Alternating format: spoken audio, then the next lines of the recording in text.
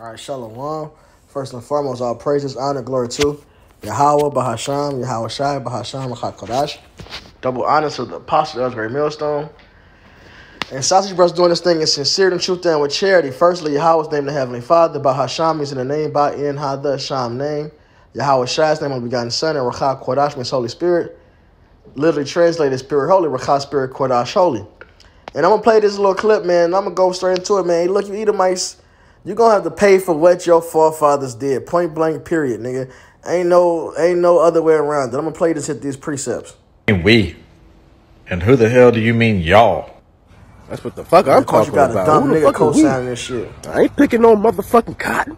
They been picking cotton in years. And y'all, who the hell are y'all? I don't even know now one white man breathing that can even tell you where a cotton field is at. What the fuck is he talking about? The fuck do you mean we? And who the hell do you Then of course you got the comment board. Man.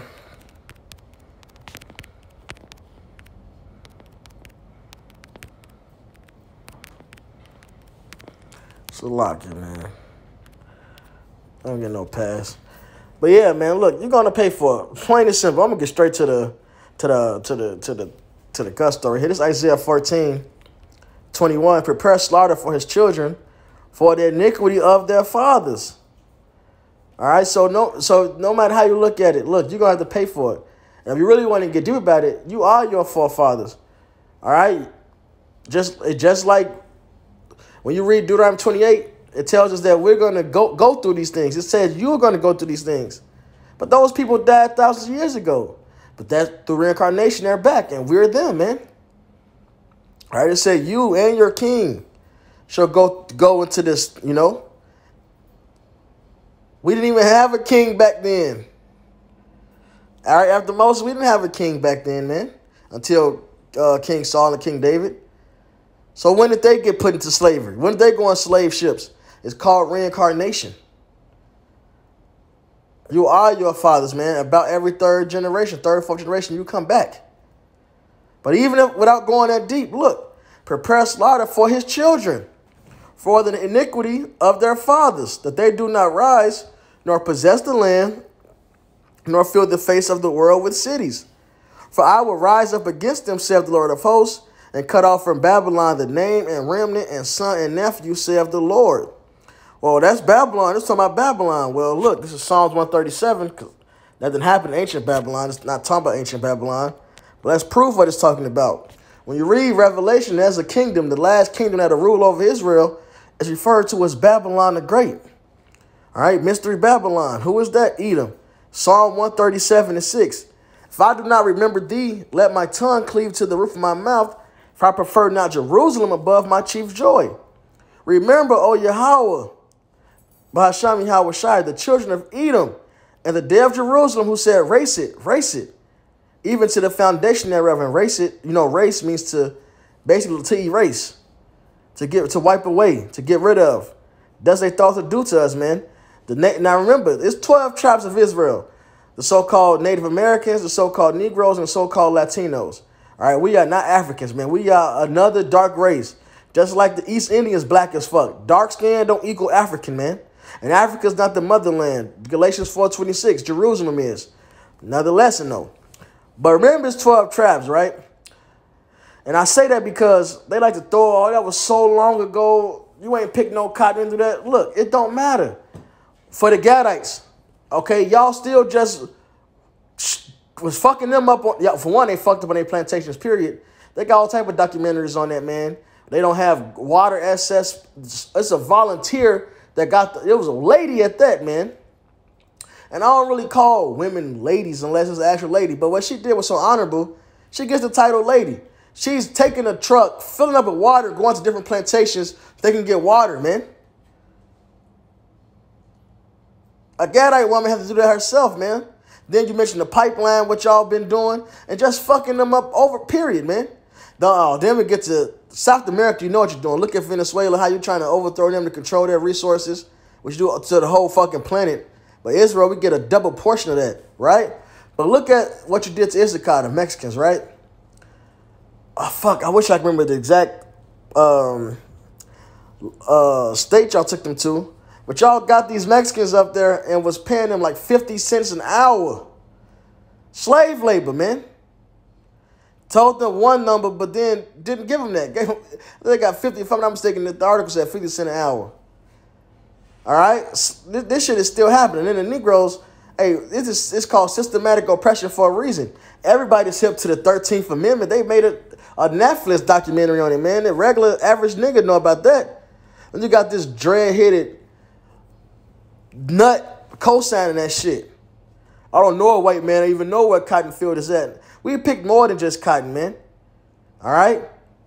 And for the record, emancipation only means to transfer ownership. Look up the etymology, E-T-Y-M-O-L-O-G-Y, the etymology of emancipate. And when you go to the etym online, it's going to tell you to transfer ownership. We went from being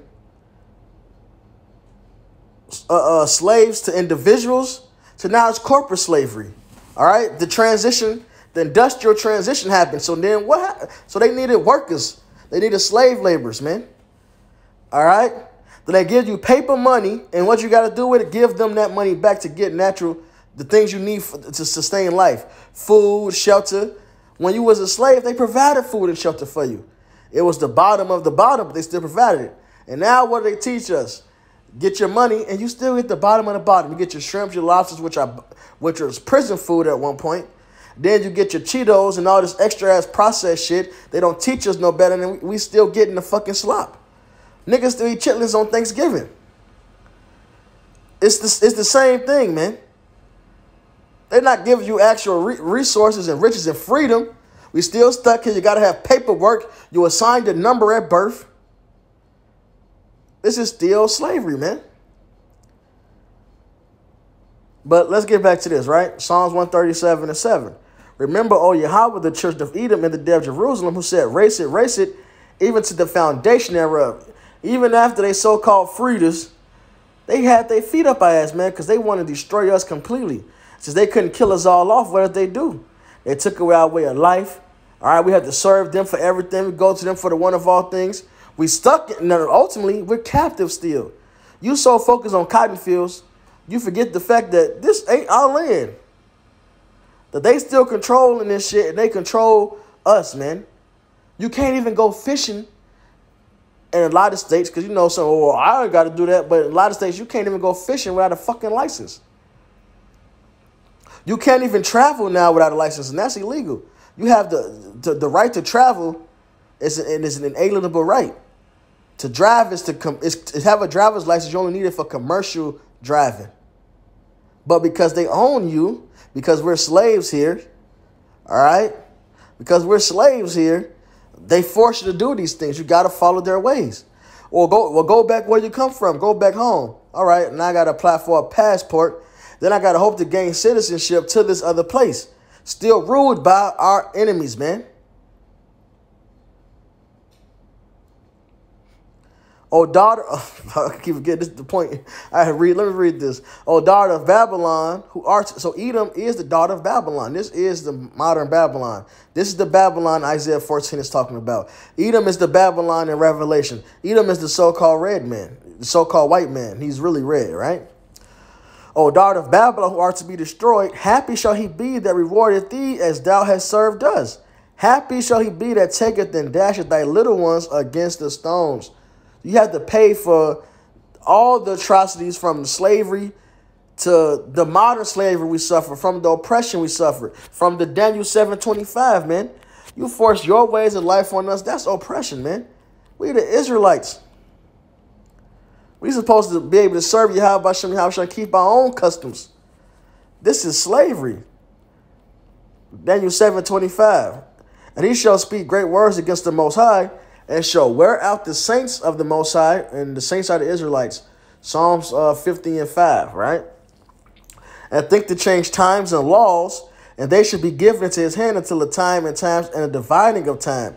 So we sitting in your hands, man, having learning your ways, speaking your language. That's that's the sign of a conquered people.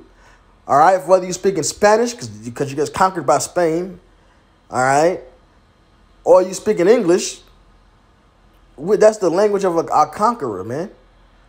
All right, we forced to, to live according to their ways. All right, and, and follow their shit, man. Sodomites every fucking well. Disorder, the woman is put over the fucking man. I'm damn women are fucking I, just whores out here. Men are fucking effeminate. Can't raise your children how you want to. It's illegal to even chastise your child because we're captives, man. We can't do what's right in the sight of our own heritage, man. How do you not realize that we are still in captivity? We're not free. We're still in the land that called us. That's like being in jail, but because you can roam, you can roam through that particular prison with the cells unlocked that you say you free. No, you still in jail. That's like, okay, when you in segregation, oh, I'm a slave, I'm captive. They let you out of uh, segregation and put you with Gen Pop. You know, now oh, I'm free. Nigga, no, you still in prison. We still in prison. All right? We still got to go. Hey, this is Baruch.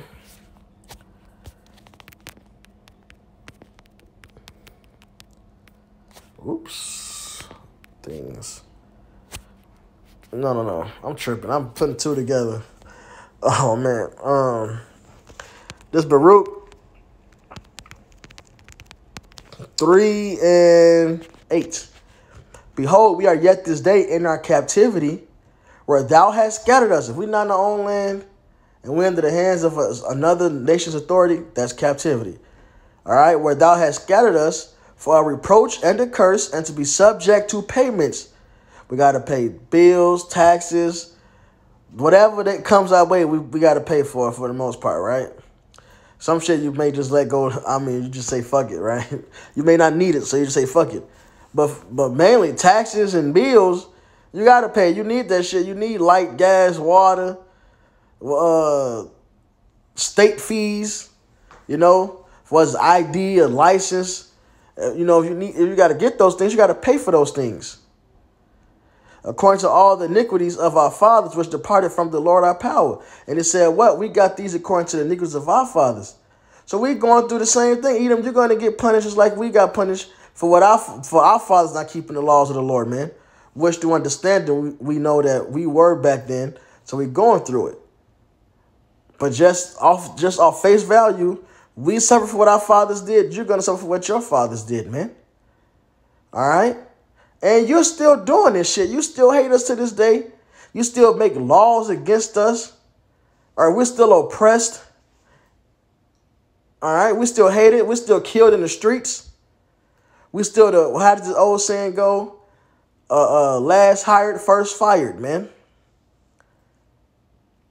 I I never forget this conversation. My grandmother had this with me when I was so young.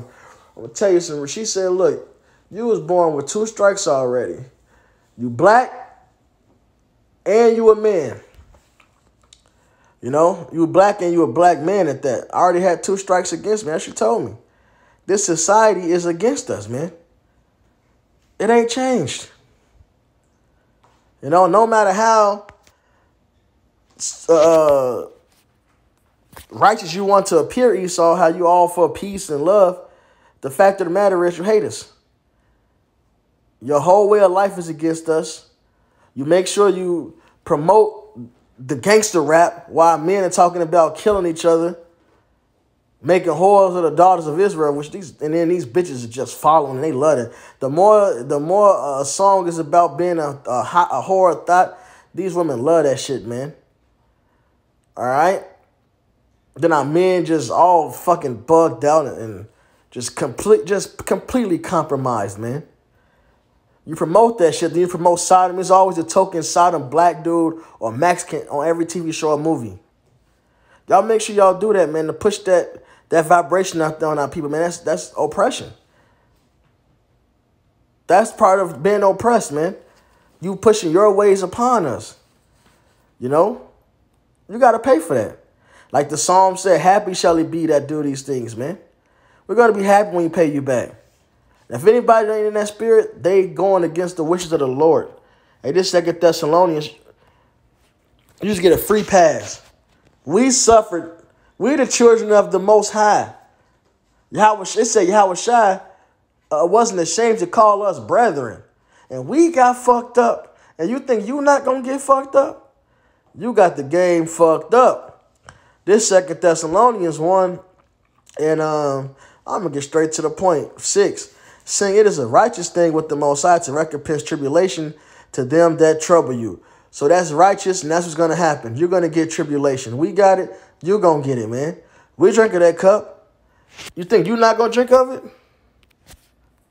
This is um Jeremiah 25.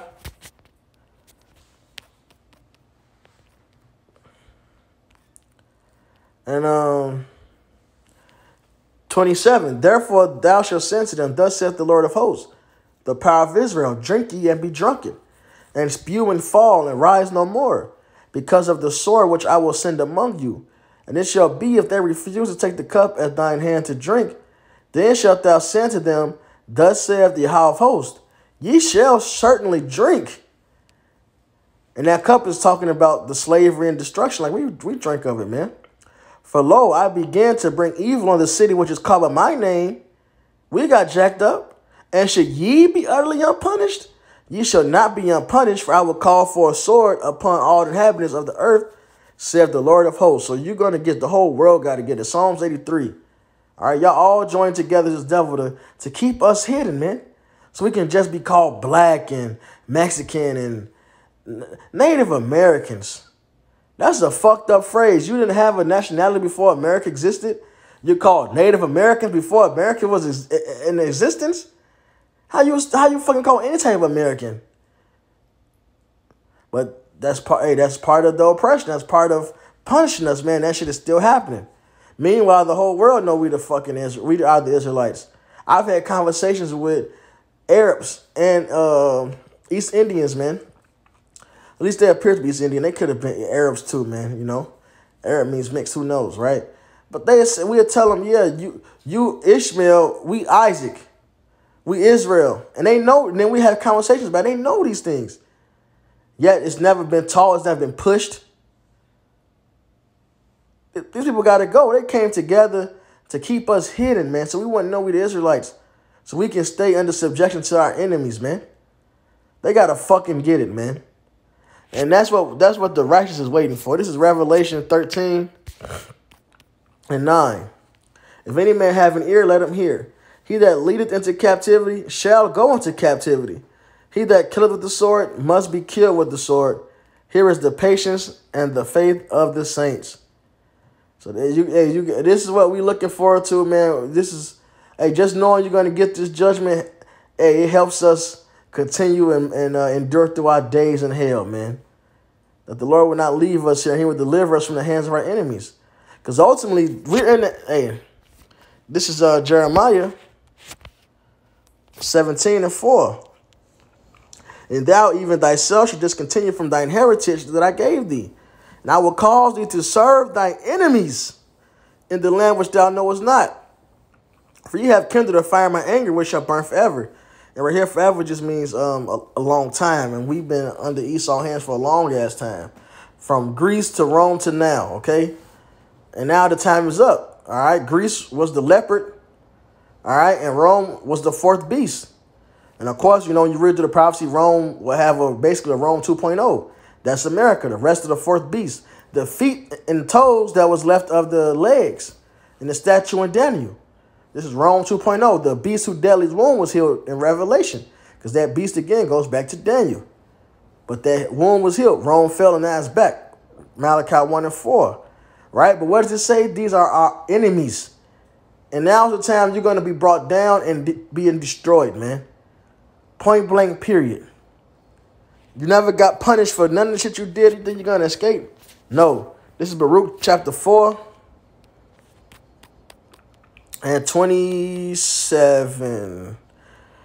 Be of good comfort, O my children, and cry unto the Most High. For ye shall be remembered of him that brought these things upon you. For as it was your mind to go astray from the Most High, so being returned, seek him ten times more. But he that hath brought these plagues upon you shall bring you everlasting joy again with your salvation. Take a good heart, O Jerusalem, for he that gave thee that name will comfort thee. Miserable are they that afflicted thee and rejoice at thy fall. Miserable are the cities which thy children served. Miserable is she that received thy sons. For as she rejoiced at thy ruin and was glad of thy fall, so shall she be grieved for her own desolation. For I will take away the rejoicing of her great multitude, her pride shall be turned into mourning. For fire shall a for fire shall come upon her from the everlasting, long to endure, and she and she shall be inhabited of devils for a great time. O Jerusalem, look about thee toward the east, and behold the joy that cometh unto thee from the Most High. So the Lord is going to deliver us, and He's going to put you heathens in slavery, man. All right, Esau, Edom, you will be judged, man. This is Lamentations 4, and we end on this, Lord willing. Lamentations 4 and 21. Rejoice and be glad, O daughter of Edom, which is the so-called white man, self-proclaimed white, he's red. He's the devil the Bible speaks of. He whose work comes after the working of Satan, you know, Second Thessalonians, the second chapter. Rejoice and be glad, O daughter of Edom, that dwellest in the land of Uz. The cup also shall pass through unto thee. Thou shalt be drunken, and shalt make thyself naked. The punishment of thine iniquity is accomplished, O daughter of Zion. He will no more carry thee away into captivity. He will visit thy iniquity, O daughter of Edom. He will discover thy sins. So you will be judged, man. The daughter of Edom, the descendants of Edom, you will be judged. Shalom.